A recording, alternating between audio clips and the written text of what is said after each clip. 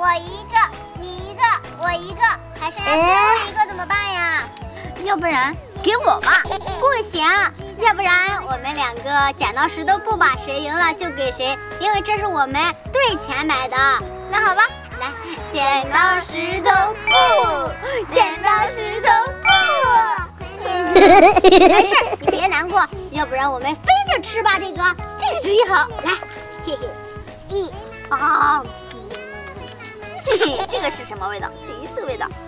啊哇哦！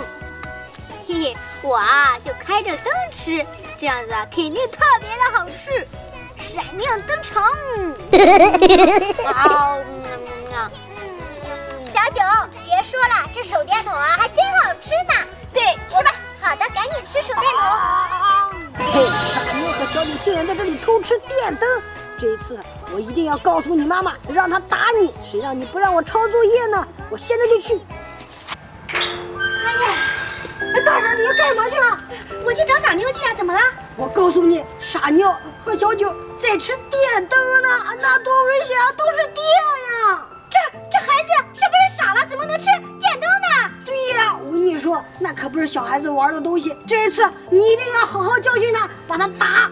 调皮的孩子，气死我了！在哪呢？就在那里，走，大人我带你去。这手电筒啊，真太好吃了吧！再吃再来，先我们多吃一点手电筒。大师，你看我没骗你吗？再吃手电筒呢。没想到你说的是真的，这孩子是不是疯了？这手电筒怎么能吃啊？打他去，打他去！哎呀，住嘴！你这孩子怎么能吃手电筒呢？这多危险呀！妈，妈什么妈呀？你说说你什么不可以吃？你饿成这样子吗？这手电筒你看都亮着灯呢。对，打他！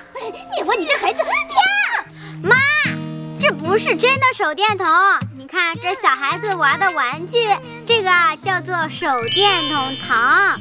你看一看，里面的糖果可是很好吃的哦，有七彩的。来，你尝一下。嗯，真好吃。这人怎么那么能啊？现在，嗯。傻妞，那能好吃吗？不好吃。我看看。